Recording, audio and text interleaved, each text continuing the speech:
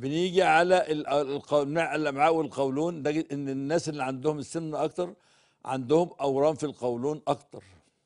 هتقول لي أورام ليه في القولون؟ لأن دول بياكلوا دايما النشويات الحاجات اللي مفيش فيها ألياف نباتية كتيرة جدا فبيبقوا عرضة لسرطان القولون أكتر.